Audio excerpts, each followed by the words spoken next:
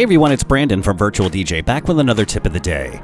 Now, due to current events, many DJs have taken up live streaming to different social media networks in order to keep connected with their audience and also stay fresh with their music selections and mixing skills. Now, you might already know that Virtual DJ can directly connect your live stream to many popular services, but what you might not know is that Virtual DJ can also allow you to control multiple cameras or visual sources that use a camera output API so you can switch to different views, other angles, or different video signals at the click of a mouse. This allows you to be more creative with your live stream and add more excitement to your video broadcast. Here's how to do it. First, find a video track and load it into a deck. This will enable the video engine and activate the video output.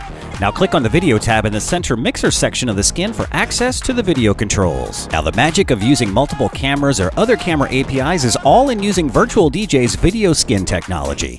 So we need to load up a video skin that has these features. To do this, click on the Settings button and click on the Interface tab. Now at the bottom of this window is the Video Skin selection area. As you can see, I have quite a few video skins to choose from, but the one I'm looking for is the Broadcaster GFX video skin. Simply click on this to activate it and you'll see it load up on your video output. You can now click on the X and exit out of the settings area. If you take a closer look at this video skin, you will see it has many of the popular features needed for live streaming, including a primary video window, a camera view window, a text bar area for track title and artist or other messages, and a placeholder for all of your social media channels, all of which are configurable by using some simple VDJ script. If you press play on a deck, you'll see your deck's video play in the video window.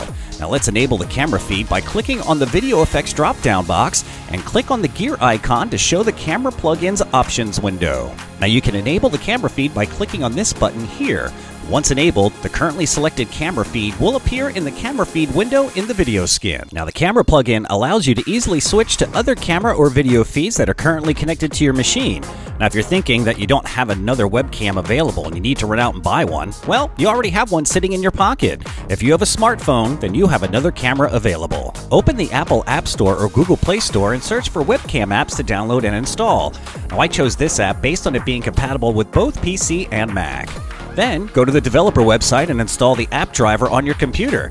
The driver will now allow your phone to send video directly to your computer over Wi Fi. Back in Virtual DJ in the camera plugin window, use the camera selection knob to easily switch to the webcam app which is running on your phone. Now, your audience can have an up close view of your gear and for you to show off your mixing skills. You can also set Virtual DJ to automatically switch your camera views by changing the camera swap option from manual to a time interval in seconds. Other controls available in the camera plugin are a zoom control, a chroma key control if you're using green screens, and also image opacity controls. Now this video skin also features different viewing layouts for the video and camera windows. Now to change layouts, simply select the special GFX pad bank in the Deck's Performance Pads area. Now there are four different layouts that you can switch to using the upper four pads in this bank. And you can also swap the windows by clicking on the swap pad, and clicking on the cycle pad will set Virtual DJ to automatically cycle between the four layouts about every 45 seconds. Now also available is a 2 times cam pad where you can have your audience view both of your camera feeds at the same time. And finally, for a little extra flavor, you can enable the slideshow plugin, and if you have it set to a folder of ambient video, it will display in the background of this video skin. As you can see, Virtual DJ has all the cool features built in to make your video broadcasting easy and fun, so you don't need to be worrying about messing around to configure a few different software packages to work together. That'll do it for this tip of the day. We hope you found it helpful. If you have an idea for our next tip, email tipoftheday at virtualdj.com.